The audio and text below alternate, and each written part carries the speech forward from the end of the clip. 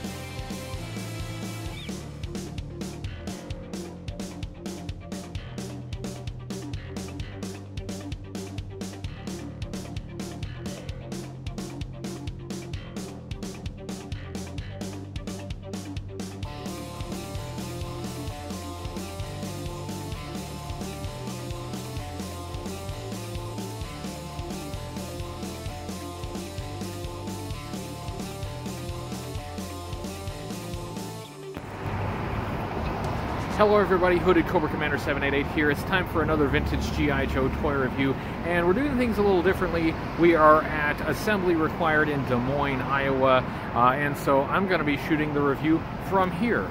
This week we are reviewing Rapid Deployment Force, a mail-away set from 1993 that included just three re-released figures, two from Night Force and then one random guy, and a black version of the Pocket Patrol Pack. 1993 was a pretty crazy year for G.I. Joe. The 1993 lineup was massive. Uh, the retail releases were just overwhelming. It's one of the most difficult years of the vintage line to complete. But the mail-away sets, in contrast, looked backwards. They, they got a lot of re-releases, uh, some figures that were repainted from earlier action figures, but then the Rapid Deployment Force wasn't repainted at all. They just straight re-released the same figures with some different accessories. So inside the convention here we have a few friends and I'm going to ask them what they think of Rapid Deployment Force. So without further ado, let's check it out. HCC 788 presents Rapid Deployment Force.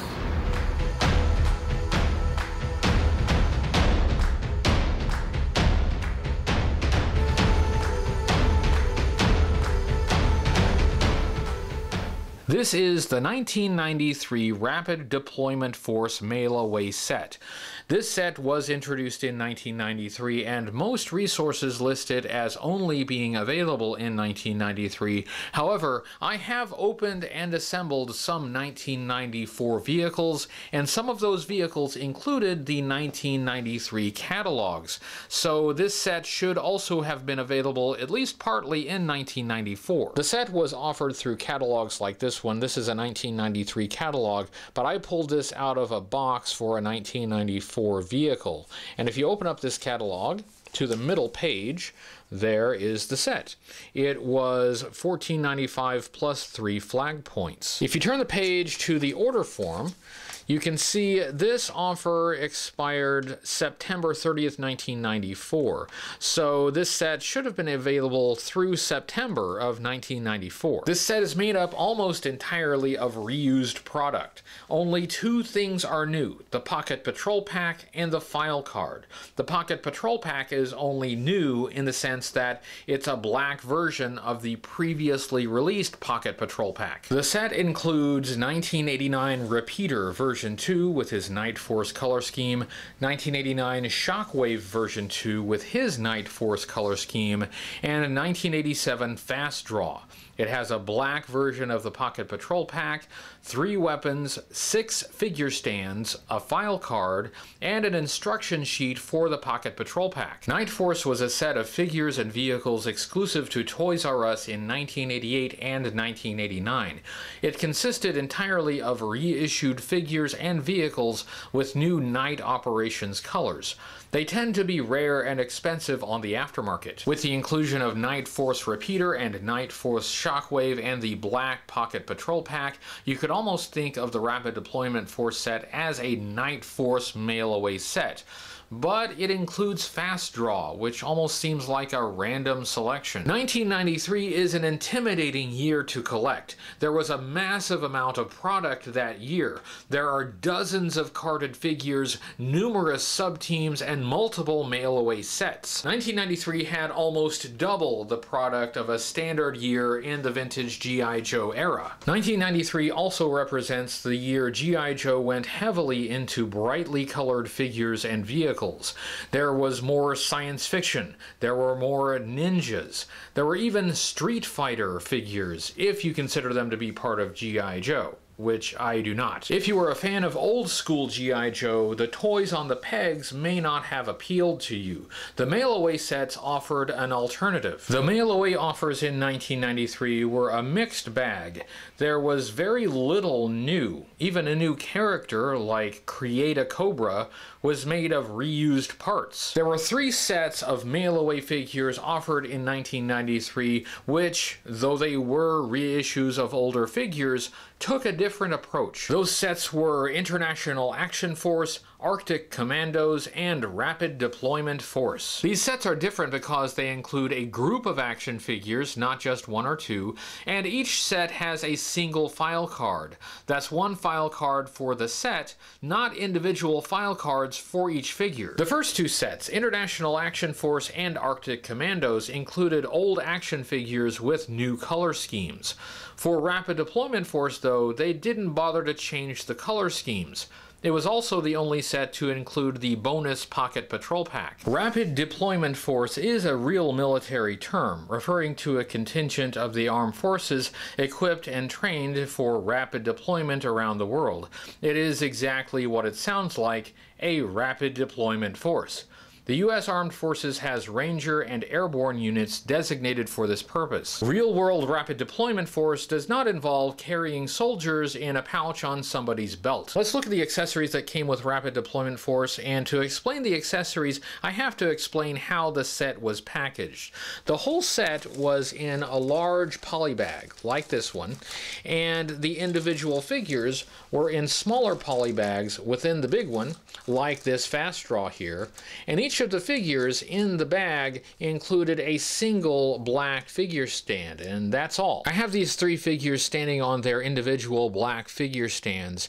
Uh, inside the large poly bag, there was another smaller sealed bag, and that included three additional figure stands and three weapons. There is nothing new here. All of these accessories are just reissued older accessories, and there's no indication of which weapon goes with which figure.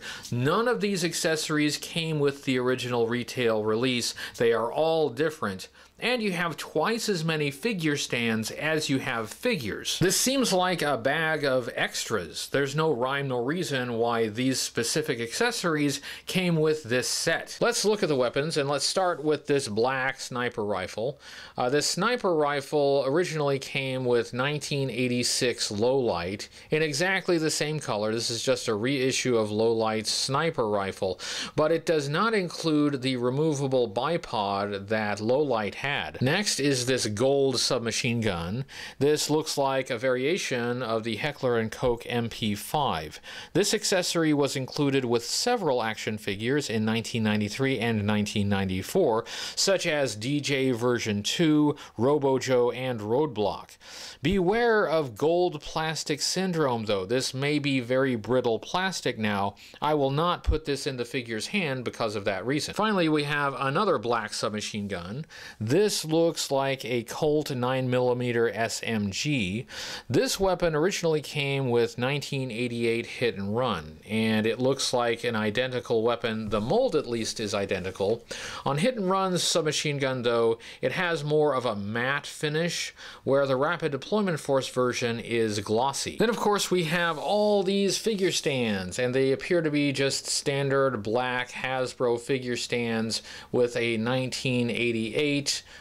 copyright stamp on them. These were reissued by Hasbro many, many times over the years, um, and these are quite standard, and that's great, I guess, if you need figure stands. The accessories for this set are a huge letdown. All three of these figures originally had amazing accessories. They are all missing here.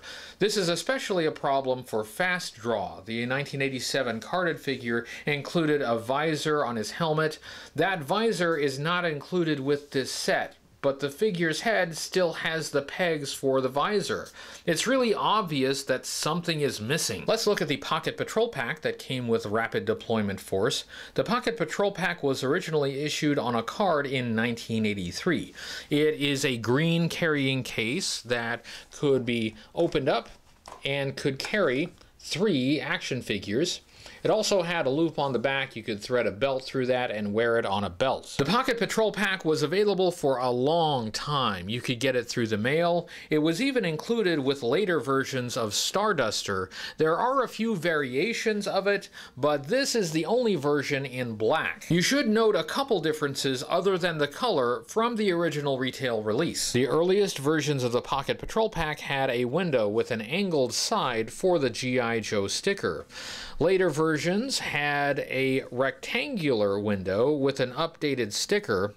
Another variation has a rectangular window, but it is wider and thinner and has an updated sticker. The Rapid Deployment Force version of the Pocket Patrol Pack has the longer, narrower, rectangular window, and it has a unique sticker. It says Rapid Deployment Force, it does not say G.I. Joe. The set also included an instruction sheet for the Pocket Patrol Pack. This looks like it's just photocopied and cut out.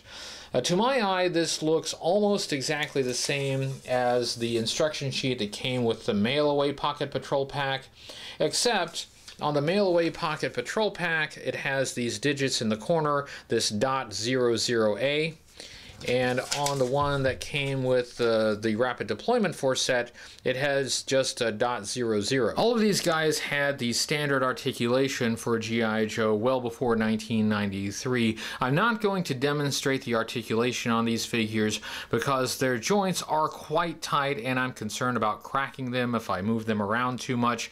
I have already reviewed the first versions of all of these figures, so if you want to see how they are articulated, I would refer you to those videos uh, but their articulation is standard. Let's look at the sculpt, design, and color of these rapid deployment force figures, starting with Repeater.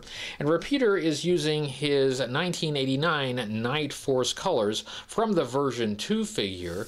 The version 1 Repeater figure from 1988 had a desert color scheme and digital camouflage.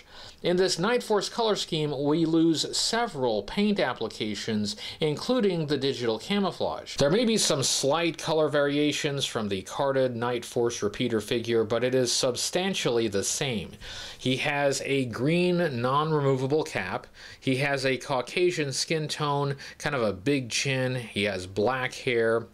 On his chest he has a green vest, and that color of green is very close to the version 1 color, but maybe a shade lighter.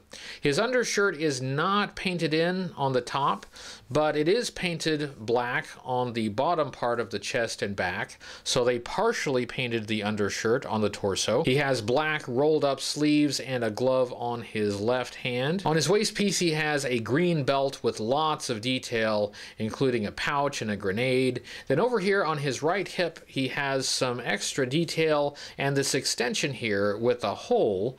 This loop here is designed for the Steadicam machine gun mount that came with the version 1 figure. This rapid deployment force version of the figure does not have the machine gun, but it still has the place where you're supposed to mount it. His legs feature brown trousers and more of that green detail on his right leg. This is all supposed to be part of his Steadicam machine gun mount, which doesn't do any good when he doesn't come with the Steadicam machine gun. He has a couple pockets on his thighs, and he has some pretty good looking black boots. Let's move on and look at Shockwave. This is the version 2 Night Force color scheme for Shockwave. Version 1 of Shockwave was predominantly blue, and he also had this blocky camouflage pattern that is not present in the Night Force color scheme. As far as I can tell, this Rapid Deployment Force release of Night Force Shockwave is identical to the carded release. I have not spotted any color variations. These two guys look the same. It looks like they just took some unsold Night Force Shockwave figures and tossed them into this set. Shockwave has a gray cap over a black body balaclava. He has a green chest. That's a vest that is unpainted. It has some straps and a knife, but it doesn't have any paint applications on the torso at all. This is something I thought was missing on the first version of the figure, and I kind of think it's missing here. It really could benefit from some additional paint applications there. He has gray sleeves on his arms. He has black gloves. On his waist piece, he has a black belt, not especially detailed, uh, has has what looks like ammunition pouches on the left side. On his legs, he has gray trousers. He has black pistol holsters on each thigh, two pistols.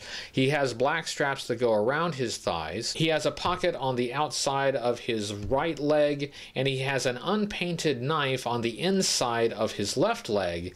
And then we finish up with some pretty good looking black boots. Finally, we get to Fast Draw, the oddball of the group. This guy stands out like a sore thumb. He doesn't look like either of the other two guys.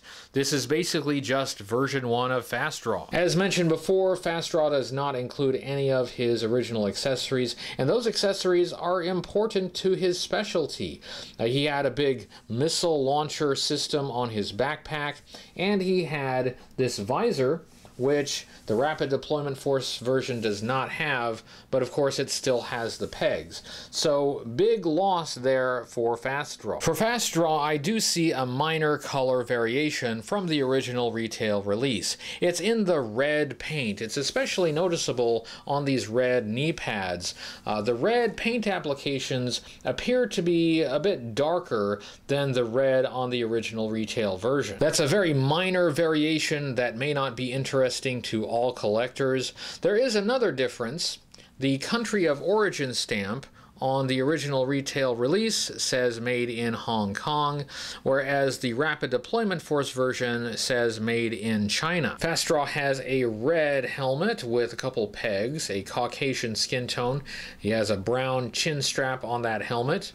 He's wearing a green jumpsuit with a blue harness and some gray protective padding. He has protruding green shoulder pads. He has some blue straps on his chest chest and his back, and he has this gray protective vest under those blue straps, and that vest has a texture pattern, kind of a bumpy texture pattern on it. His arms feature long green sleeves and red gloves. His waist piece has a blue belt, not much detail there. Uh, he has gray protective padding on the front, and we see that green jumpsuit on the back. Likewise, his legs are green on the back and gray on the front, and has that bumpy texture pattern on those gray pads. He has a gray pistol holster and a black pistol on his right thigh. He's got straps that go around the back of his thighs for those gray pads. He has some red knee pads, and his lower legs have more of that gray padding and gray boots. Let's look at the file card that came with Rapid Deployment Force. This file card was an insert in the poly bag. It has a plain white backing. That's a little unusual. These mail-away file cards usually had a red back. The card features no artwork. It just has a photograph of the three figures in the Pocket Patrol Pack, and the Pocket Patrol Pack is on somebody's belt. I wonder who the model was for that. Somebody at Hasbro, maybe? Could this be Kirk Bozigian's belt? Below the photograph, it has the names of the three figures Fast Draw, Repeater, and Shockwave. And then in bold letters above the photograph, it says Rapid Deployment Force. The copyright information and the country of origin is on a sticker that is placed on the file card. I assume they had to cover up some erroneous information, and so they just slapped a sticker over it. The text of the file card is this very long paragraph. It says Cobra intelligence orders issued over a cellular communications transmitter have recently been intercepted by G.I. Joe surveillance operatives. A team of Austrian physicists is being held captive in a fortress and forced to develop Cobra's latest nuclear threat, a bomb referred to only by its top secret code name, Exterminate. G.I. Joe has engaged RDF, in parentheses, Rapid Deployment Force, commandos to get to the fortress and stop the bomb's completion before it's too late. Three RDF members have been chosen for the risky mission. Fast Draw, a mobile missile specialist, will launch a surprise missile attack and blast an entry hole into the fortress. He does not include his missile system. Repeater, the Steadicam machine gunner, will provide initial cover fire to take on any Cobra resistance. He does not include his Steadicam machine gun. And Shockwave, the SWAT, in parentheses Special Weapons and Tactics Specialist, will penetrate the fortress, destroy the bomb, and bring the scientists to safety. Time is of the essence. Can RDF pull it off? Probably not because they don't have any of the weapons they would need to do it. Looking at how these characters were used in G.I. Joe media, Repeater and Fast Draw were only animated for commercials. They didn't make any appearances in the animated series episodes. Shockwave was animated for a couple episodes of the DiC animated series, but not in this uniform. He was in his version 3 uniform from Drug Elimination Force. All three of these characters were in the comic book series published by Marvel Comics, but none were major characters. Shockwave probably had the most exposure. There was never a comic book or animated story that followed the mission described on the file card. I'm still enjoying Assembly Required. I asked some friends here what they thought of Rapid Deployment Force and the 1993 retail lineup for the G.I. Joe line. Okay, we have Chris McLeod, a Diagnostic 80 from the Full Force podcast. Uh, so, and I just mentioned a moment ago that we're reviewing Rapid Deployment Force from 1993. So, Rapid Deployment Force was always an interesting one for me, that kind of random selection of Joes thrown in a box and there you go kind of thing. But the fact that it's got a couple of Night Force figures in there, I mean, you tend to, I don't know, covet that a little bit more, you know, when there's a, a cheeky little kind of extra special figure in there. I kind of feel that way with the Night Force. With the Night Force, any kind of sub teams, if you get a sub team in like a lot of figures, even if it's like Sonic Fighters or something like that, it's like a little bit like, oh, quirky and different. So with the Rapid Deployment Force, I was kind of, you know, I thought it was really cool. It wasn't one of those things that I really knew about until much later on in life. So this was definitely like an adult collector kind of phase for me, finding out about it and then, you know, trying to procure one, which I did successfully. Only the one though. So this is Patrick Stewart, not Picard, and um, as I mentioned a moment ago, I'm reviewing uh, Rapid Deployment Force. So uh, what thoughts do you have on the 1993 Rapid Deployment Force set? I really like it. I have chased variations for a long time, and those ones I think have some great ones. I think that the red that's on uh, Fast Draw is a little bit different, and the added bonus is that making those figures available again maybe makes them not quite as expensive as they would be because those Night Force figures are really good, especially Shockwave. Nice, Night Force Shockwave is probably one of the most popular ones in the set. So the fact that he was in there and is still in such high demand, I think that we're really fortunate that we were able to get that figure again. Thank you. Thank you. This is Jason, and we are at Assembly Required here, and I've asked Jason for his thoughts about the 1993 set and the Rapid Deployment Force. So go, Jason. The Rapid Deployment Force was definitely a, a callback to the older Joes, since since they didn't repaint them, they just put them with a with a Pocket Patrol pack. I love the Pocket Patrol pack. I collect it.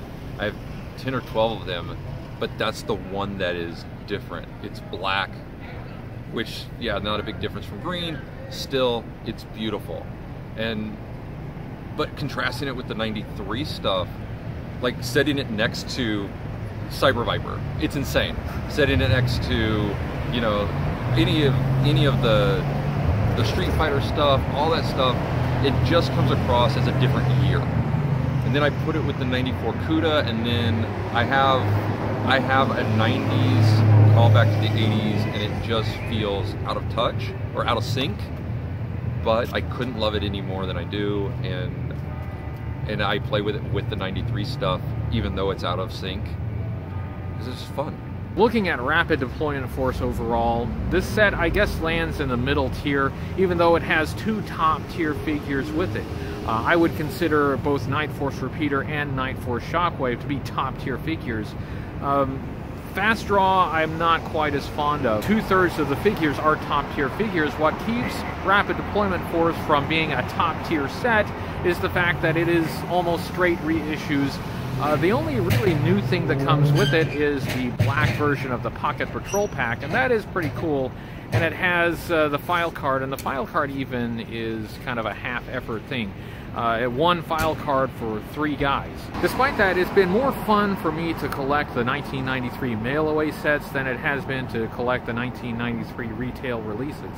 Uh, even though the mail-away sets are kind of lazy and just mainly reissues of older toys, uh, they do reflect back on an earlier period of G.I. Joe when, in my opinion, the figures were a bit better. For that reason, it's been fun to get Rapid Deployment Force and the other uh, mail-away sets like Arctic Commandos and International Action Force. But no matter how nice the figures, it's going to be hard for a set that just reissues things to make it to the top tier. That was my review of Rapid Deployment Force. Thanks to everyone who helped out with this review, and it was fun going to Codename Iowa's Assembly Required in Des Moines, Iowa.